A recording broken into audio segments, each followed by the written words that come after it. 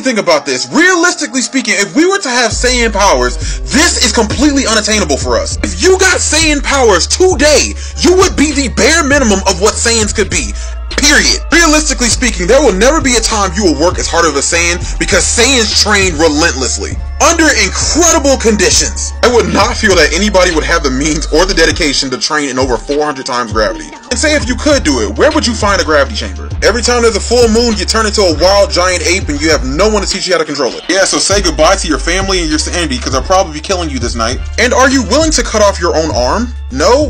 Oh, well, I'm pretty sure you're not going to want to cut off your own tail to get rid of this problem. Yeah, you don't have an understanding of ki or no one to teach you, so energy waves and flying are out. With no understanding of ki, that means no Super Saiyan. Sure, you could use the tingly feeling argument drummed up by Super, but without understanding of ki, you're just a superhuman.